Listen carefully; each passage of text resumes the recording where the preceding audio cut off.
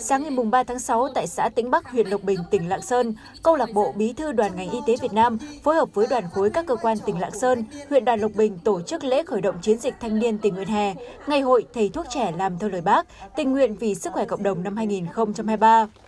Tham dự chương trình, về phía Bộ Y tế có giáo sư tiến sĩ Trần Văn Thuấn, Thứ trưởng Bộ Y tế, trưởng Ban chỉ đạo công tác thanh niên ngành y tế, Phó giáo sư tiến sĩ Nguyễn Tuấn Hưng, Phó vụ trưởng vụ tổ chức cán bộ, ông Nguyễn Trường Nam, Phó Cục trưởng Cục Công nghệ Thông tin, cùng lãnh đạo Đảng ủy khối cơ quan tỉnh Lạng Sơn, tỉnh đoàn Lạng Sơn, huyện ủy Lộc Bình, đại diện các sở ban ngành tỉnh Lạng Sơn. Phát biểu tại buổi lễ, Thứ trưởng Trần Văn Thuấn đánh giá chiến dịch thanh niên tình nguyện hè, ngày hội thầy thuốc trẻ làm theo lời bác, tình nguyện vì sức khỏe cộng đồng năm 2023 là hoạt động có ý nghĩa thiết thực nhằm khích lệ đoàn viên thanh niên tích cực tự giác tham gia hiệu quả vào các phong trào tình nguyện, tạo dấu ấn tốt trong cộng đồng, thể hiện vai trò trách nhiệm của tuổi trẻ trong sự nghiệp xây dựng quê hương ngày càng phát triển, góp phần thực hiện thắng lợi nghị quyết Đại hội đoàn toàn quốc, nghị quyết Đại hội đoàn khối các cơ quan tỉnh Lạng Sơn và đoàn thanh niên cơ quan Bộ Y tế. Thứ trưởng Trần Văn Thuấn bày tỏ tin tưởng chiến dịch tình nguyện hè 2023 sẽ có nhiều chương trình, hoạt động ý nghĩa thiết thực, góp phần phát huy hơn nữa vai trò sung kích tình nguyện của tuổi trẻ trong việc thực hiện các công trình, phần việc thanh niên tham gia phát triển kinh tế văn hóa xã hội, xây dựng nông thôn mới, đảm bảo an sinh xã hội, quốc phòng an ninh, nhất là những địa bàn khó khăn, vùng sâu, vùng xa, biên giới.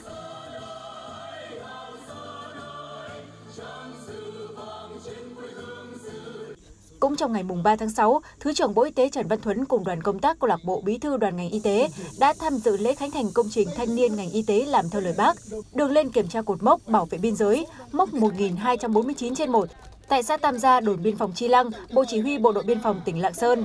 Công trình đường lên mốc biên giới 1249 có chiều dài 90 m, rộng 1,1 m, được xây dựng với tổng kinh phí hơn 60 triệu đồng do câu lạc bộ Bí thư Đoàn Thanh niên Bộ Y tế đã kêu gọi tài trợ từ các đơn vị trong nước. Công trình được khởi công vào tháng 5 và hoàn thành vào tháng 6 năm 2023.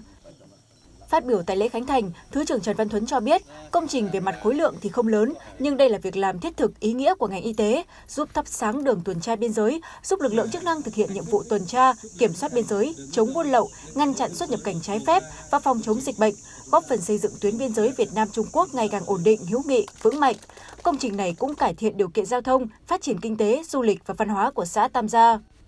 Cũng nhân dịp này, Thứ trưởng Trần Văn Thuấn đã trao nhiều phần quà ý nghĩa cho cán bộ chiến sĩ đồn biên phòng Chi Lăng, Bộ Chỉ huy Bộ đội Biên phòng tỉnh Lạng Sơn.